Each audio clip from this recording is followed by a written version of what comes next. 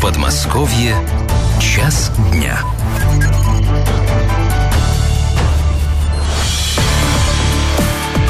Радио 1.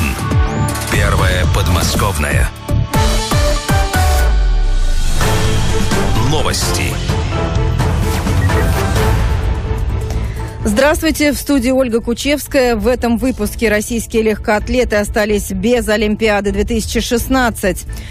Компания «Вимавиа» отменила сегодня 9 рейсов из столицы Крыма в Москву. И конкурс профессионального мастерства «Лучший лесной пожарный» пройдет в Подмосковье. Далее подробнее об этих и других новостях.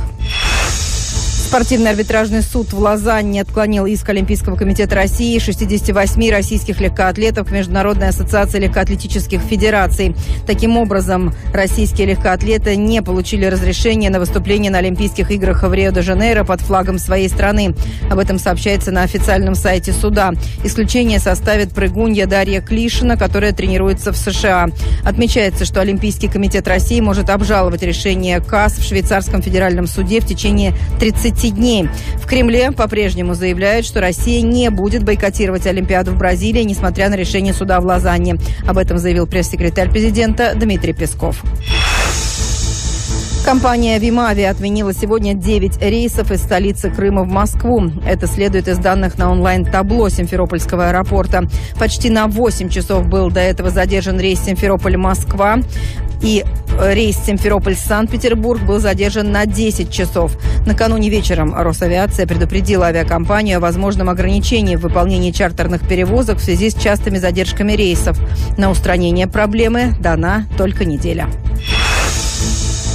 Порядка 400 миллионов рублей выделили в Подмосковье для улучшения жилищных условий молодых семей в текущем году в рамках финансирования программы «Жилища», сообщает сегодня пресс-служба заместителя председателя правительства Московской области Германа Елянюшкина. В регионе продолжается реализация государственной программы «Жилища», и одна из подпрограмм этого федерального плана предусматривает обеспечение квартирами молодых семей. Региональный этап всероссийского конкурса профессионального мастерства «Лучший лесной пожарный-2016» пройдет 27 июля в Ступинском районе. Соревнования будут включать теоретическую и практическую части. Лучшего лесного пожарного выбирают в Подмосковье второй год подряд. Специалист, который завоюет это звание, сможет принять участие в финальном этапе конкурса, куда приедут лучшие лесные пожарные со всей России. Заслуженная артистка России и художественный руководитель Московского областного государственного театра юного зрителя Нонна Гришаева сегодня празднует день рождения. Губернатор Московской области Андрей Воробьев наградил ее знаком преподобного Сергея Радонежского. И сегодня же Нонна Гришаева стала гостьей открытой студии «Радио 1» в Доме правительства Московской области. Слушайте включение сразу после двухчасовых новостей в 14.05. В завершении выпуска курсы валюты и о погоде. Курс валют. Э, доллар по итогам сегодняшних торгов 63 рубля 74 копейки. Евро прибавил 30 копеек и стал 70 э, рублей 30 копеек. Погода столичном регионе сегодня переменная облачность без осадков. В Москве плюс 20-22, в Сергеевом Посаде, Орехово-Зуеве, Шатуре, Серпухове и Коломне до плюс 24. Атмосферное давление 743 миллиметра ртутного столба. Эти и другие новости на сайте radio1.news.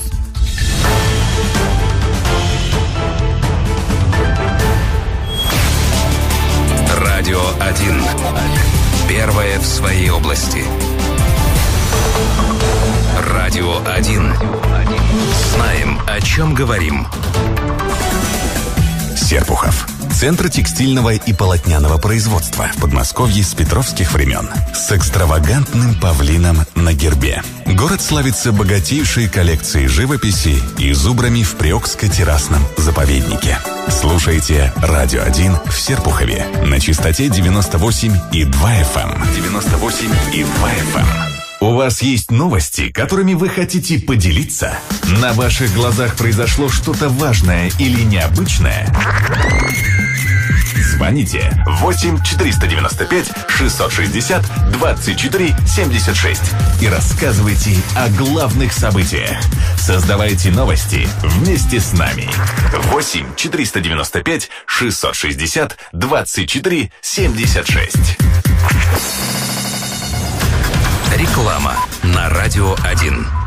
Внимание! Копить на квартиру больше не нужно. Есть 80 тысяч рублей. Сделайте первоначальный взнос по ипотеке и квартира ваша. 6 километров от МКАД. Более 50 вариантов планировок. Дворы без машин для ваших детей. Премиальная архитектура. Живите в красоте. Звоните прямо сейчас. 104 53 30. Код города 495. 104 53 30. Проектная декларация по адресу город Видное, Белокаменное шоссе 20. Срок акции до 31 июля 2016 года. ООО «Ваш город». город.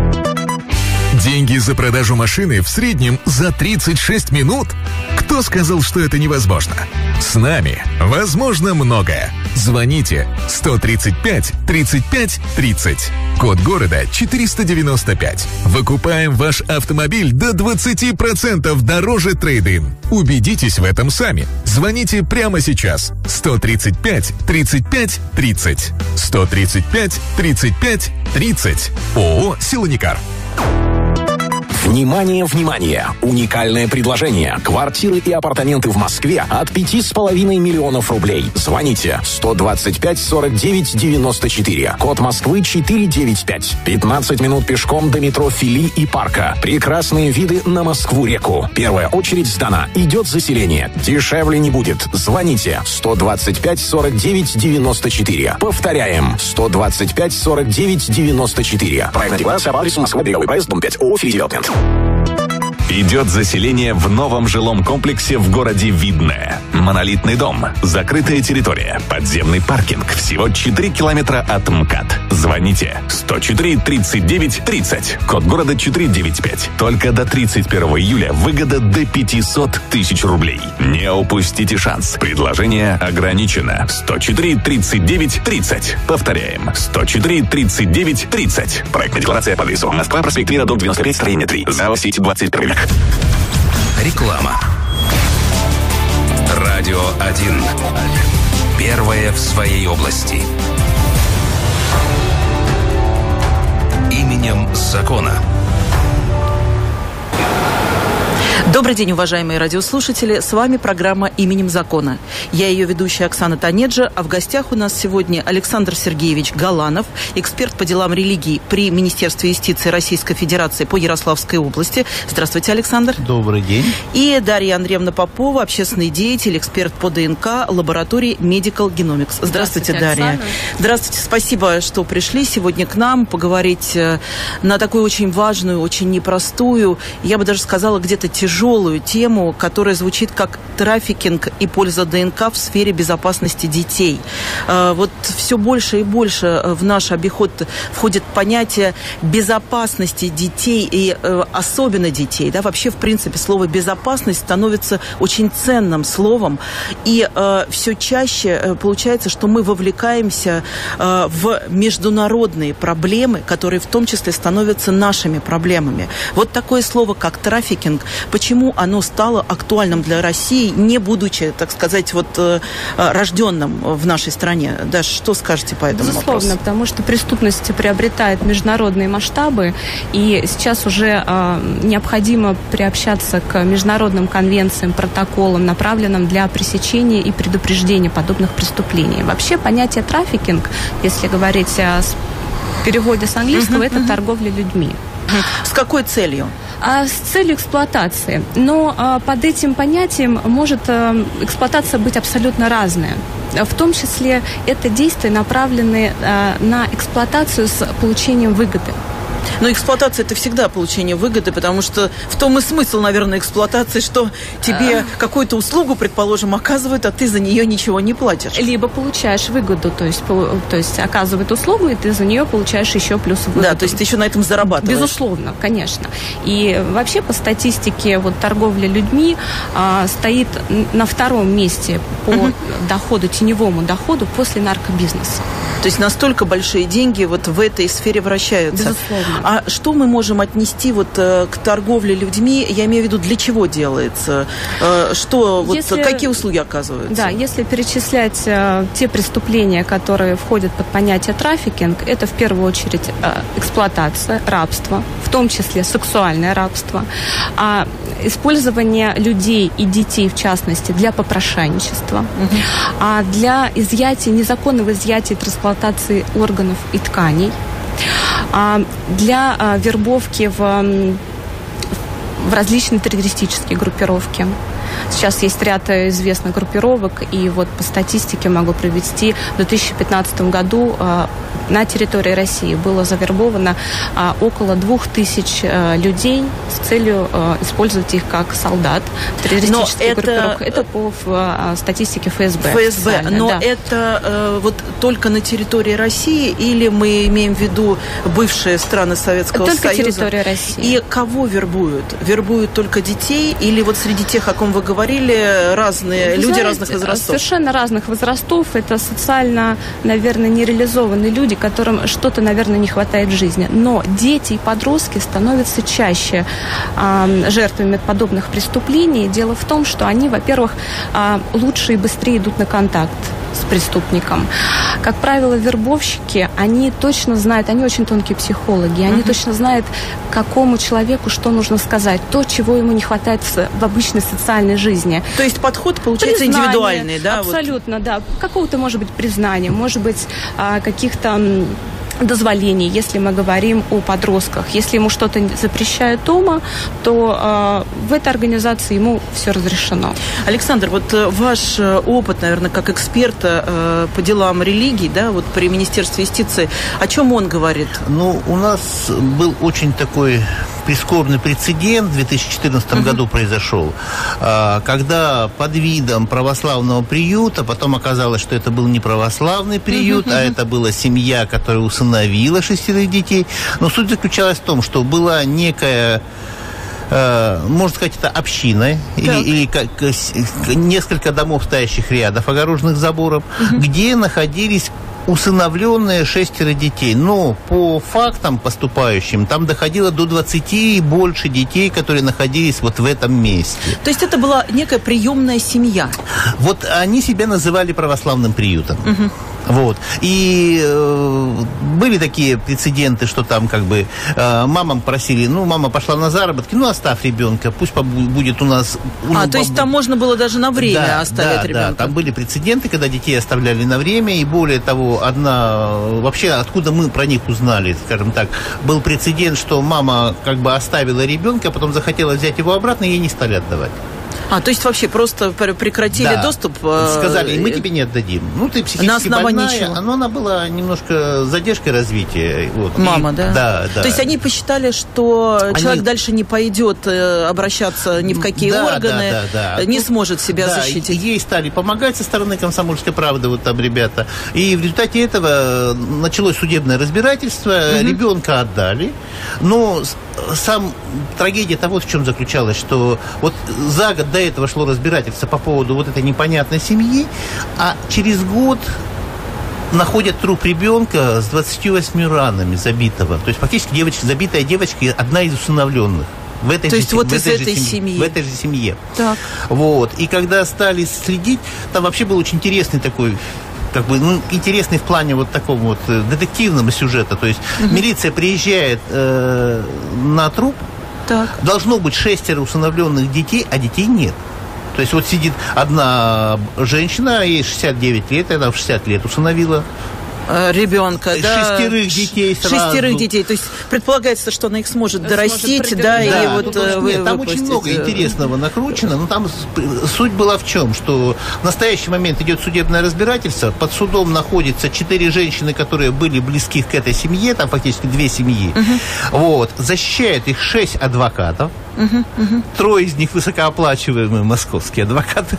То есть есть деньги, все есть. есть деньги, два года подряд уже идет разбирательство. Мы сейчас вы- выезжаем на суды, мы отслеживаем, как идут эти суды, но там э, трагедия вот в чем заключалась, что год до этого эта семья была под наблюдением, вроде как приезжали, проверяли, забирали детей, и никто ничего не находил. То есть, То есть все было хорошо, все гладко хорошо, и прекрасно. Да. В 2014 году находят труп ребенка, сейчас идет разбирательство, и что нам было как бы вот галочка актуально в нашей теме. Да. Дело в том, что когда стали детей, э, детей не было. То есть приехали милиция, детей нет. Никого нет, да. Угу. Один ребенок труп, один ребенок рядом. И пятерых детей нет, нет вообще. Так. Через неделю детей довозят откуда-то. Ага, они находятся. Да, так. находятся. Но что интересно, у детей не было медицинских карточек, то есть они вот не наблюдались в течение Нигде. 10 лет, угу. как 10 или 12 лет там на, уточняется. Как они попали, видимо, да, в, эту в, эту семью, в это православное Да, в эту семью, угу. и женщина, которая их усыновила, сказала, я сама буду заниматься лечением детей, а поэтому карточек не надо. И фельдшер карточек не заводил. Ага. То есть отследить, То... отследить те ли дети это были неизвестно, которых она усыновила, и те, которые привезли увезли в тот момент, когда был найден труп. Понятно. То есть, когда началось расследование, да. не, вполне возможно, что произошла вот там, подмена а детей. Вот, а вот там вот был, насчет подмены сейчас никто не говорит, но были интересные факты, что у одной девочки гинеколог признал, что отставание года на три по развитию. По развитию, То да. есть в зависимости от ее возраста, да. получается, да, что от, она не соответствует. От, от, от заявленного возраста. От заявленного возраста. Вот. Угу. Дальше. Психолог дает, что девочка не тянет на, 5, на пятый класс, она отстает в развитии. Угу. То есть фактически она тоже года на три отстает. И педиатр говорит, да, девочка слабо развита, вот она вот, ну, скорее всего, да, она немножко не тянет вот на, на, на те 13 лет, скорее, ну, как десятилетний ребенок выглядит. То есть вот это, вот это касалось одного ребенка. То есть и возникал вопрос, может быть, ребенок нормального возраста, только возраст ему не тот дали.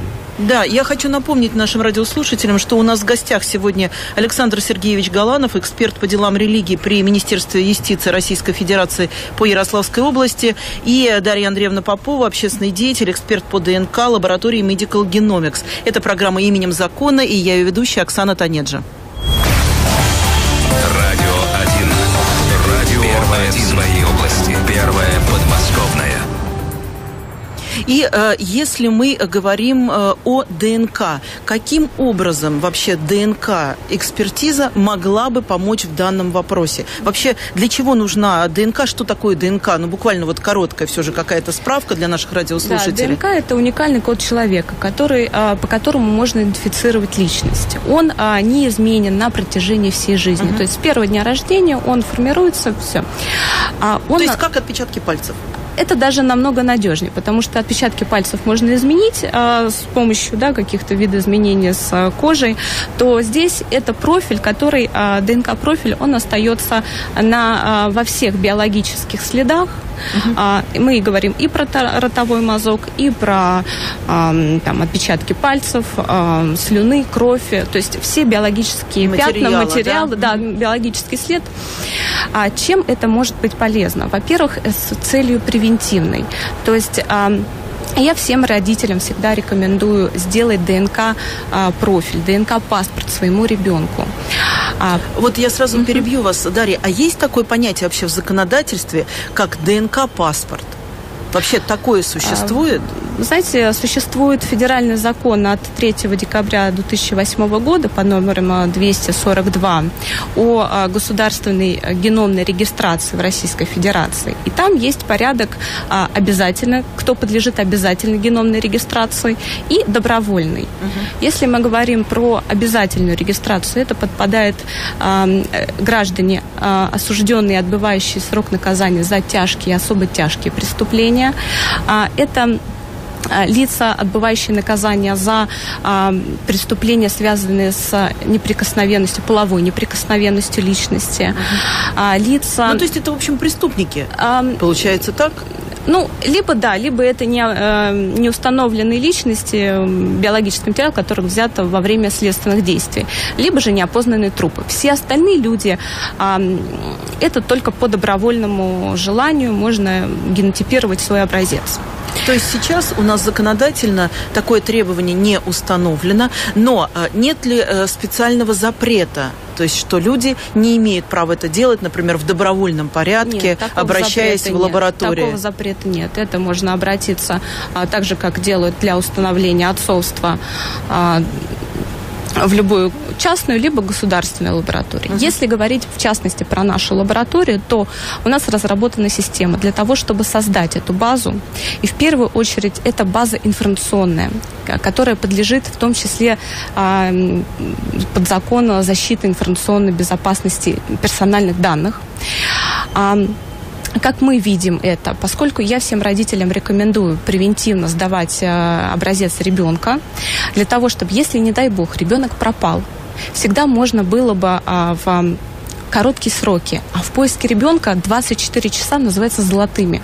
Потому что если ребенок не найден в течение 20, первых 24 часов, то шансы на его э, на то, обнаружение найти, да? крайне низко падают. Угу. Соответственно, если э, вот правоохранительные органы а, проводят идентификацию личности в течение двух, а, двух недель-месяца. В нашей же лаборатории можно идентифицировать в течение 8 часов. Ну, то есть это экспресс такой, экспресс, да? Экспресс, да, экспресс. Угу. И были случаи, когда пропадали дети, и следственные органы выходили на след, находили в машинах, либо в каких-то квартирах а, предметы личной гигиены ребенка. Оттуда можно провести экстракцию ДНК и, проанализировав его, идентифицировать, принадлежит этот предмет ребенку или нет. И, соответственно, вот, если он принадлежит, то мы вышли на след, да, и мы идем конечно. правильно. Вот я хотела спросить вас, Александр, э, после того, как э, возникли сомнения э, в возрасте тех детей, которые исследовали, были ли проведены вот ДНК-экспертизы, например? А, там на самом деле очень трудно оценить. Почему? Потому что так как не было первично, первичной экспертизы, материала, да, вот нет первичной экспертизы, угу. то даже если сейчас вот у этих детей взять ДНК экспертизу, ну, да, да. не с чем сравнивать. Да конечно. То есть мы не сможем понять. Но а, хотя бы, знаете, вот на будущее, для того, чтобы вообще а вот э, тут, обезопасить детей. А тут ситуация вот какая интересная, что ответственность за детей, за приемных детей несут люди, где они расположены. То есть это должно быть, э, если они находятся сейчас в учреждении в, в детском доме, то это так. значит директор детского дома должен сделать запрос. То есть тут...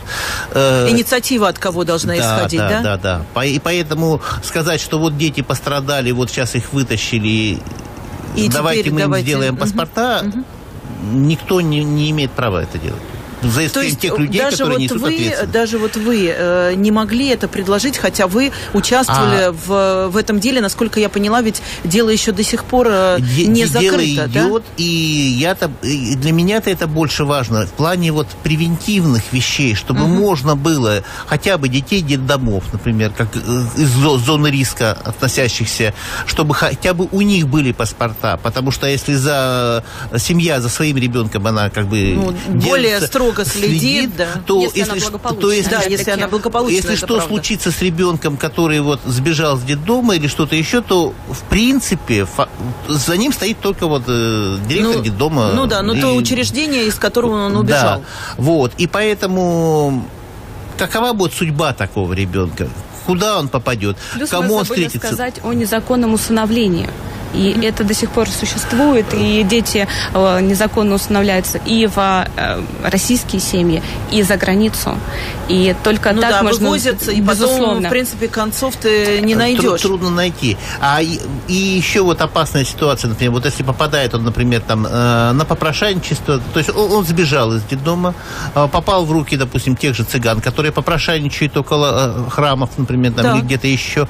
И вот как ребенок, если маленький ребенок, он вообще никак не сможет обосновать, кто он такой. Ну, это естественно, но там очень многие же дети, они вообще просто еще вот, Если ребенка украли из коляски, то опять же, то есть вот она стоит, цыганка с этим ребенком, и даже если милиция или полиция к ней подойдет, она им предъявит какой-то документ, документ на котором да. написано какие-то, какие, какая-то фамилия, соответствует ли этот документ этому ребенку, никто не может сказать. Никто не знает, то есть это невозможно никак установить без э, Те документы... ДНК, например, экспертизы. Документы легко подделываются. Это правда. ДНК невозможно, потому что а если мы говорим о идентификации личности, то это стопроцентное сходство должно быть именно профилей. А опять-таки, возвращаясь к истории к, с цыганами, угу. пару лет назад было громкое дело в Греции, когда в цыганской семье была найдена белокожая девочка. И по документам она проходила действительно как родная дочка. То есть паспорт был паспорт, оформлен, все да? были документы, все документы, да, были угу. нормальные. Что она ее родила. Да, да? безусловно. Угу. А делается ДНК-тест, э, по результатам которого видится, что биологическое э, родство между матерью отсутствует. Ну, то есть это оно просто невозможно. Да. А, кстати, насколько ДНК-экспертиза точна? Вот в этом случае, да, когда мы говорим идентификацию а, с а, профилей, то он э, точный 100%. Сто процентов, прям вот не 99, там, я есть, не знаю, не Есть, 50. э, есть маленькая оговорка. Есть, э, если у человека есть эм, близнец, то у них профиль ДНК одинаковый. То есть, если это близнецы, Так. а, монодиготные, то есть однояйцевые, то у них профиль ДНК будет идентичен. То есть понять, э, например, это, ну не знаю, условно говоря, это э, Василий или это Петр Да. э, невозможно, именно вот в этом случае это единственное исключение, которое э, которое не, мо- Да. не дает гарантии. А Да. как же быть э, в таких случаях? Есть какие-то предложения, может быть, вот именно э, по близнецам, я не знаю, может быть, еще... Здесь только дополнительно какие-то другие доказательства. еще есть? Нет, здесь, к сожалению, вот больше Вот ДНК-экспертиза здесь бессильна, образом. получается. Здесь, так. да, потому что мы получаем два одинаковых профиля. Но это, я не знаю, вы меня ужасно расстроили, потому что я сейчас так воодушевилась случаев тем, что мало. вы В основном, описали, что действительно целом, это возможно. Конечно, это уникальный код. А, Я хочу напомнить нашим радиослушателям, что э, с вами программа «Именем закона». Я ее ведущая Оксана Танеджа. А в гостях у меня Александр Сергеевич Галанов, эксперт по делам религии при Министерстве юстиции Российской Федерации по Ярославской области, и э, Дарья Андреевна Попова, общественный деятель, эксперт по ДНК лаборатории Medical Genomics. Радио 1. Первая подмосковная. А, Мы с вами говорили, перечислили в понятие трафинга, что входят э, и сексуальное рабство, да, и э, просто рабство, Да, вот, э, настоящая эксплуатация, эксплуатация да. человека человеком, и попрошайничество. А что и террористические группировки, то есть вербовка в террористические группировки. А что касается, например, трансплантации органов, это стоит как-то отдельно, или это входит также вот в понятие трафикинга, то есть то, для чего, собственно говоря, похищают людей? Вот как раз вот э, в этом случае ДНК э, необходимо. Во-первых, если мы говорим про э, незаконную трансплантацию органов и тканей для детей, то нужно учитывать, что для маленького, маленького ребенка, который нуждается в донорской почке, орган подходит только от такого же ребенка, примерно такого же возраста. От взрослого человека просто по размерам она не подойдет. И, соответственно, потребность в таких донорах, она возрастает. Соответственно, и цена на черном рынке тоже поднимается. да, возрастает. Как можно использовать ДНК в этом случае? А, Мы всегда можем взять а, биологический след от органа и от предполагаемого донора и идентифицировать. И мы с точностью докажем, а, принадлежит этот орган а, э, Вот донору, данному, да? или нет. И если да, то каким образом а, законно ли он был изъят? Мы сейчас э, прервемся на новости и вернемся в студию буквально через несколько минут. Оставайтесь с нами. Именем закона. Радио 1. Первое в своей области. Новости. В студии Павел Перовский. Здравствуйте. В этом выпуске Минтранс введет послабление для пассажиров. Добродел решил 3000 проблем и золотые кроссовки представили в Канаде. Подробности далее. Послабление для пассажиров предлагает ввести Минтранс. Если при оформлении на рейс в билете обнаружится ошибка в написании имени или фамилии, путешественника все равно пустят на борт. То же самое касается поездов и международных автобусов. Сейчас даже если одна буква фамилии, имени, отчестве в билете не совпадает с паспортными данными, то пассажиры имеют право не допустить до поездки. И такие случаи не редки. Порядка трех тысяч жалоб, поданных на портал Добродел, успешно решили в Подмосковье за прошедшую неделю. В частности, устранены ямы и выбоины на дорогах и во дворах, улучшено состояние детских площадок, устранены несанкционированные свалки и навалы мусора, устранено нарушение правил уборки дворов и территорий. Интернет-портал Добродел заработал в 2015 году. Активисты провели рейд «Алкоконтроль» в восьми муниципалитетах Подмосковья. За неделю выявили торговые точки, где ночью продавали алкоголь и стояли игровые автоматы. Рабочие группы проверили магазины в Химках, Люберцах, Балашихе, Железнодорожном, Клину, Звенигороде, Солнечногорске, а также в Волоколамском и Щелковском районах. Как отмечается, рейды в рамках проекта будут продолжаться до тех пор, пока в Подмосковье не останется ни одного магазина, нарушающего закон. Заслуженная артистка России, художественный руководитель Московского областного государственного театра юного зрителя Нонна Гришаева сегодня празднует день рождения. Губернатор Андрей Воробьев наградил ее знаком преподобного Сергия Радонежского. И сегодня же Нонна Гришаева стала гостьей открытой студии «Радио 1» в областном доме правительства. Слушайте включение в 14.05. Кроссовки из чистого золота показал известный канадский рэпер Дрейк. Их вес составляет порядка 45 килограммов. Снимки драгоценной обуви исполнитель обнародовал на своей странице в Инстаграме. Как видно на фото, кроссовки до малейших деталей копируют оригинал. Из золота отлита и текстура кожи, и даже шнурки. В завершении выпуска курсы валют и о погоде. Курс валют. Доллар 63 рубля 74 копейки, евро 70 рублей 30 копеек. Погода. В столичном регионе завтра возможен дождь. В Москве до плюс 20, в Сергиевом Посаде, Орехово-Зуеве, Шатуре, Серпухове и Коломне до плюс 22. Эти и другие новости на сайте radio1.news.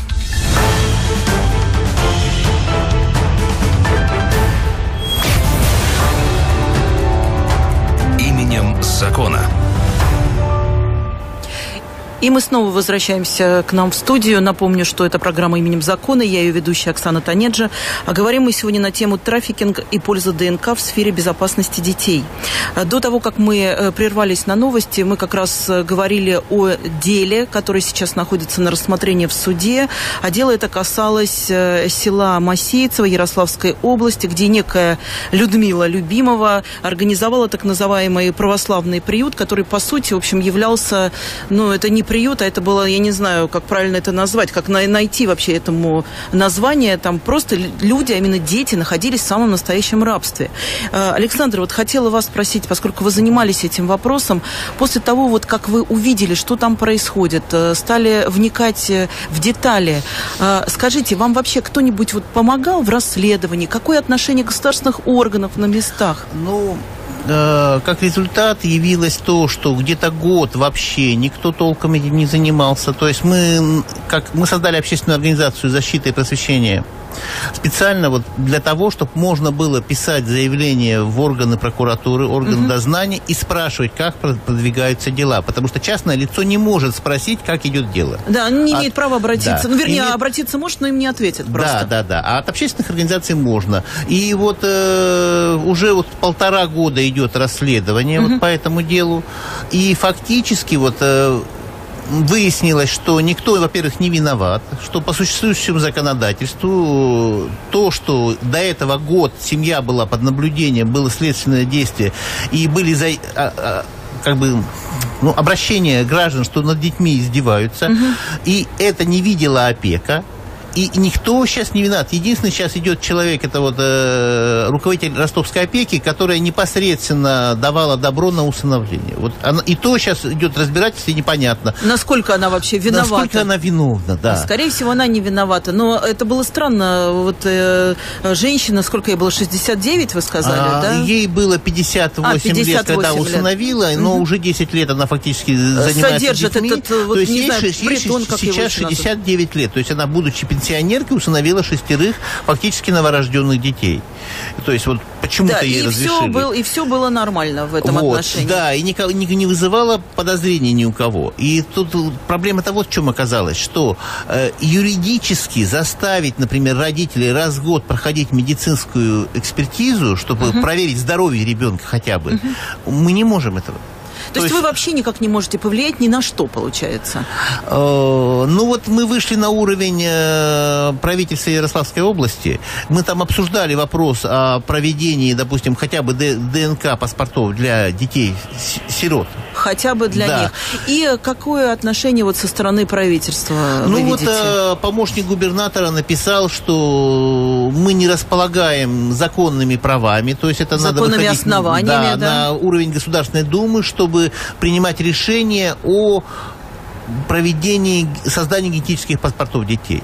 Хотя я считаю, что это очень важный момент, потому что вот та бумажка, которая выдается во время рождения ребенка под названием Метрика, свидетельство да, ребенка, там, метрика и свидетельство о рождении. Свидетельство о рождении. Это фактически единственный документ, по которому на протяжении 14 лет можно идентифицировать личность. Но мы же понимаем, что по этому документу восстановить личность, то та ли личность невозможно в принципе. Опять-таки, возвращаясь к этому вопросу, а, нередки случаи подмены детей в роддомах. Да, это по тем или иным известно, причинам. да, и по статистике на 10 тысяч родов только в Москве 4 случая подмены. Бо- бо- Более того, хотелось бы заметить, были еще случаи, когда приписывали детей для получения пособий, для получения вещ- вещей, и был реальный случай, когда просто анализ мочи девочки вместо мочи мальчика вы- отдали, только тогда выяснилось, что типа... что, что это не тот не ребенок, тот да, который ребенок, был да. заявлен.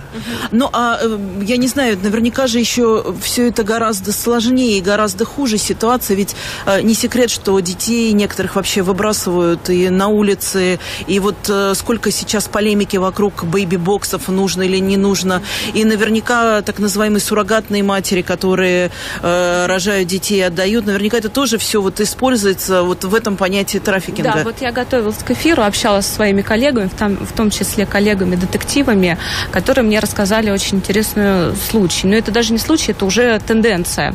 Когда цыгане уже не воруют детей, а объя- дают объявления а, в соцсетях о том, что э, ищут женщину, которая готова родить ребенка и отказаться в их пользу.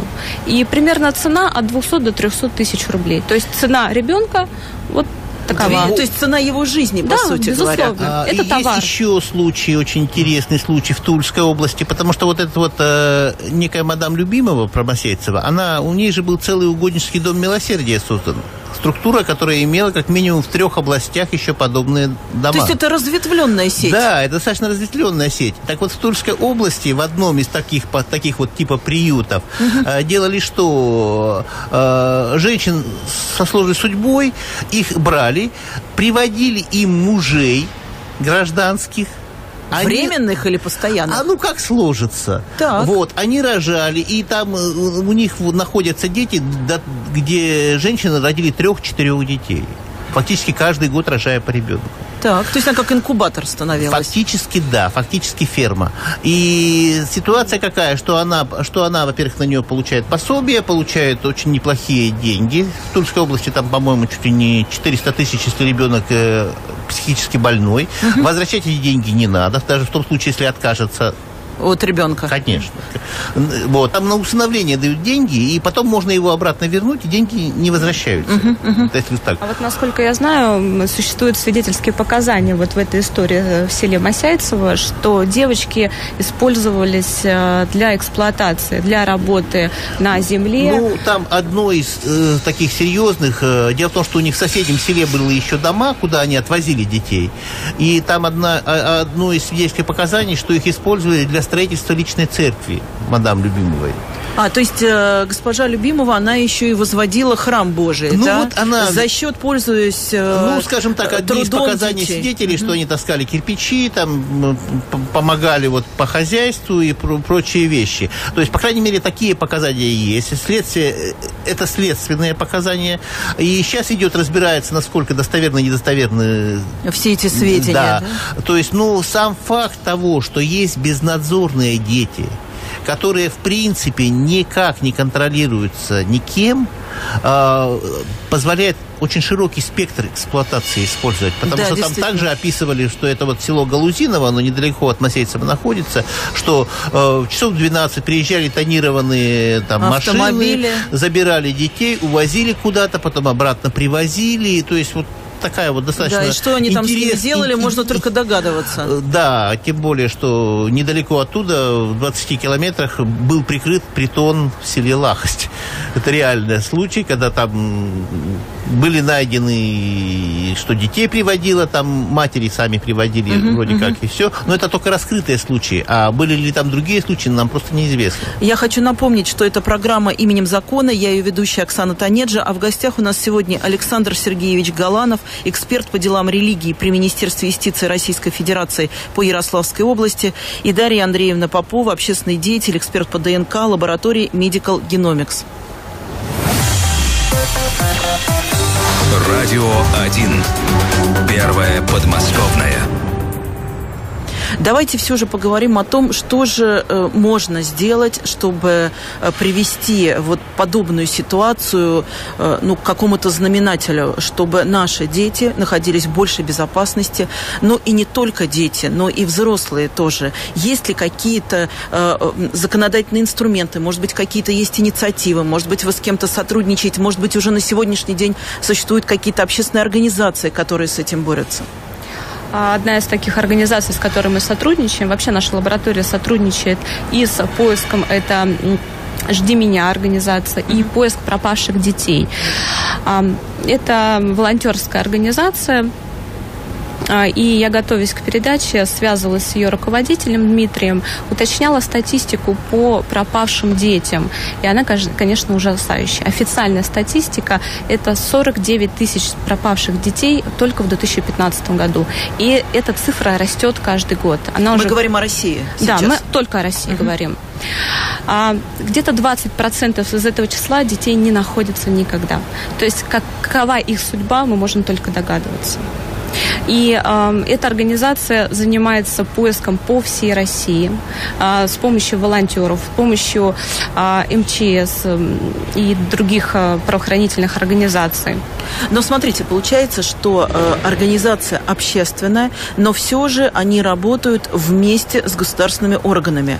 А как это получается? Это тоже какая-то добровольная основа, какая-то договоренность или как вот это Знаете, все работает, на какой всего, базе? Они просят помощь, потому что все-таки волонтеры, они не настолько профессиональны в этой деятельности, Конечно. чем Это люди просто по зову сердца, да, я так понимаю, да. приходят Они проходят определенные помочь. курсы, а, но именно профессиональная помощь, она все-таки нужна.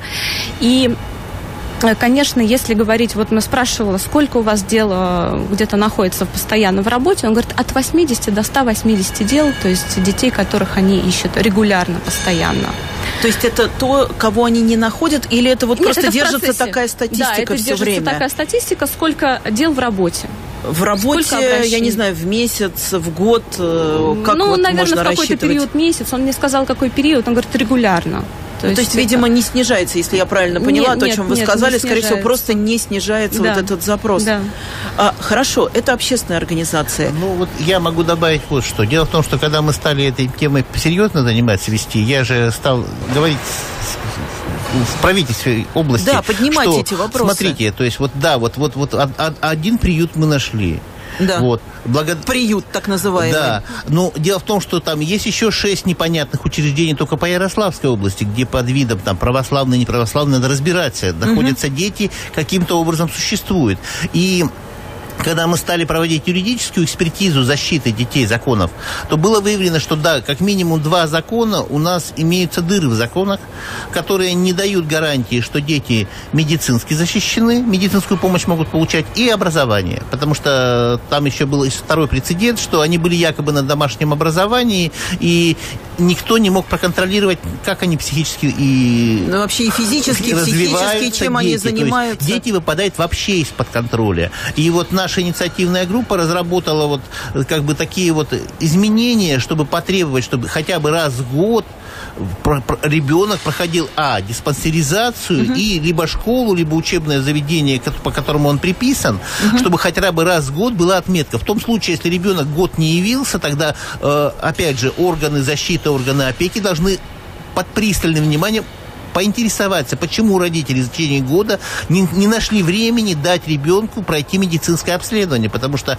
те же дети в Масейцево, они были, у них требовалось и особый массаж, там были психически больные детки, которые требовали особого отношения. отношения вот, а их годами не показывали врачам. Поэтому вот здесь встает вопрос, чтобы обяза- а, через Государственную Думу выйти с инициативой, а, обязательная медицинская диспансеризация да. и обязательно школа могла проверить. Но это все бессмысленно, если у нас нет документа, по которому можно было бы идентифицировать ребенка. Ну да, мы то же есть понимаем, хорошая мы инициатива может э, столкнуться а, с тем, она что... останется в пустоту, потому Да, что пустотой. если, ребенок нельзя идентифицировать, тот ли ребенок, то привезут одного ребенка вместо пятерых детей, и по, по документам у нас будет, они прошли Да, и вообще все будет очень Поэтому красиво. встал вопрос о идентификации личности ребенка. Почему вот я вот и вышел как раз на, на Дарью именно с предложением, что как можно, и когда выяснилось, что это в принципе решаемый вопрос. Вопрос вообще решался там, там э, дешевле биологического паспорта, по-моему, получается, вот который Да, там э, сумма со- совсем То незначительная. есть они такие сравнимые, сопоставимые и Сравнимые, понятные. Да, что, что в принципе это возможно там проводить, по крайней мере, детям-сирот однозначно можно провести, но в принципе с- самую эту большую опасность представляют дети, которые живут у неблагополучных родителей. Потому Конечно, что конечно. дети в детдомах под присмотром, дети даже в опеку взятые под присмотром, а дети, которые якобы у благополучной семьи, но семья, допустим, алкоголиков или наркоманов, они фактически становятся самыми незащищенными.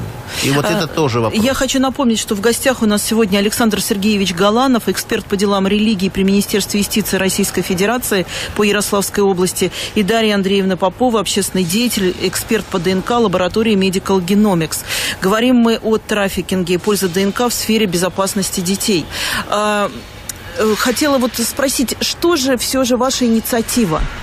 Э, Услышана ли она была? Я не знаю, р- решается ли это на уровне вот Ярославской хотя бы Ну, области? инициатив- Взаимодействие, взаимодействие, даже вот даже Ну, высказать не могу. Настолько меня потрясло то, была- о чем вы У нас говорите. ситуация была очень такая сложная. Дело в том, что у нас э, уполномоченная по делам детей ушла в связи с этим скандалом. И в области не было где-то полтора года уполномоченного в принципе, который бы мог, заинте- э, мог бы отслеживать эти вопросы независимо от структур, контролировать. Вот. В мае у нас были вы- выборы. Я выдвигался как, как один из упол- как, как кандидатура на уполномоченного. Меня не выбрали. Сейчас выбрали другого человека, которого, скажем так, тема Масейцева не интересна. И вот сейчас нам придется по новой, либо через депутатский корпус, либо через кого-то выходить на Государственную Думу с инициативой, с предложением. Ну, Государственная Дума Российской Федерации, правильно? Конечно, конечно. А, Скажите, Дарья, э, вы как общественный действуете в этом процессе? Да, я общаюсь с различными и общественными организациями, и а, мы перенимаем опыт международный. Конечно, я думаю, что сейчас стоит дождаться нового седьмого созыва а, в Госдуму и уже а, с депутатами прорабатывать этот закон, потому что необходимо а, вносить изменения в законодательную базу, готовить нормативно-правовые акты, которые будут регулировать порядок ам, проведения таких э, ДНК-паспорта, осуществления, его при- приведения в жизнь, скорее. А Система е- контроля детей.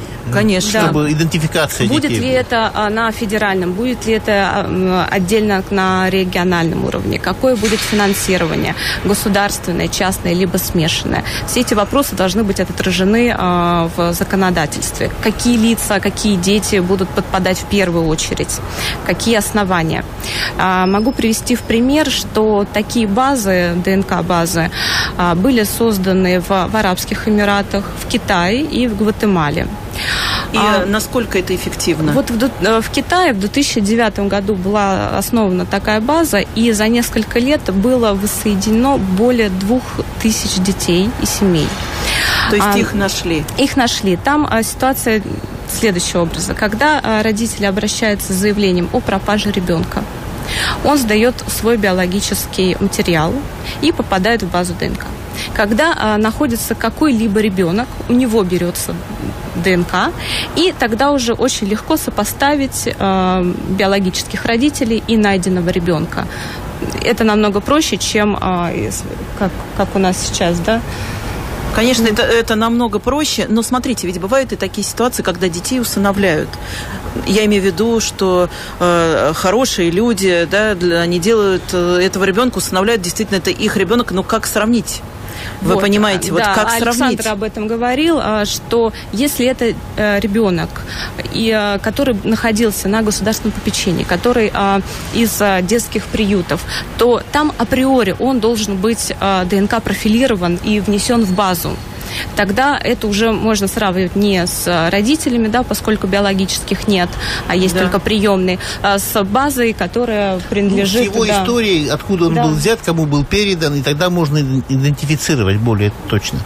Но э, вообще сейчас в России есть э, хотя бы что-то, хоть какая-то законодательная база, которая бы вот э, относилась к защите детей именно вот с точки зрения э, ну, биологической, что ли, защиты, да, то есть биологического определения э, э, э ребенок, э, тот или не тот ребенок, да, то есть это нет, вот нет, мы называем нет, это именно защита. Нет. Более того, даже сейчас идет обратный процесс, стали выступать, что даже паспорт, от паспортов люди отказываются от новых и прочих, то есть сейчас идет э, очень нехорошая волна, даже я бы сказал мракобесная волна в плане, что э, люди призывают отказываться от паспортов, от новых паспортов. То есть, то есть... А на чем основано? На Кстати, религиозных. Вот, а, на религиозных на основах? На религиозных основах, там э, число дьявола и прочие, прочие, прочие вещи. Это на полном серьезе обсуждалось.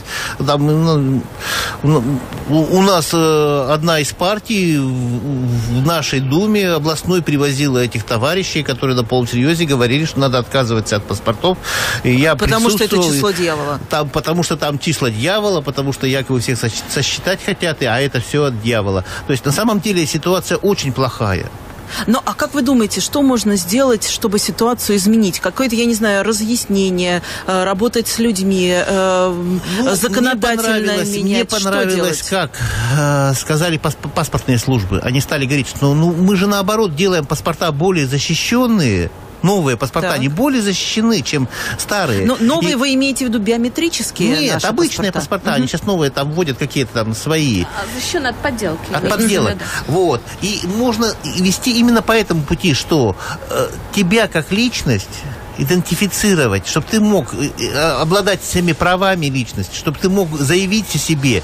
Со, надо с, с, с детских состояний детских государство лет, да. должно гарантировать защиту ребенку, что вот он Вася Петров, он и есть Вася Петров, что его, его потом никто не, не выкрадет и под чужим именем не, не продаст. И более того, ведь если были бы биометрические, я имею в виду, да, биометрические показатели, да. которые были бы зафиксированы, то есть, соответственно, и детей бы никуда не забирали, не а увозили, а не использовали, да, потому, потому что, что очень например, легко определить хорошо след, так называемый, идентифицировать, остается. откуда орган, откуда ребенок появился, даже если ребенок ничего не может сказать, всегда понятно, откуда пошла линия линии. И поэтому были бы защищены российские дети полностью. А, я хочу напомнить, что с вами была программа «Именем закона». Я ее ведущая Оксана Танеджи. И в гостях у нас сегодня был Александр Сергеевич Галанов, эксперт по делам религии при Министерстве юстиции Российской Федерации по Ярославской области, и Дарья Андреевна Попова, общественный деятель, эксперт по ДНК лаборатории Medical Genomics. Спасибо вам большое, что пришли э, к нам в студию. Будем поднимать эти вопросы и дальше. И надеюсь, что э, мы скоро увидим улучшение в этой сфере. Всего вам доброго. Закона.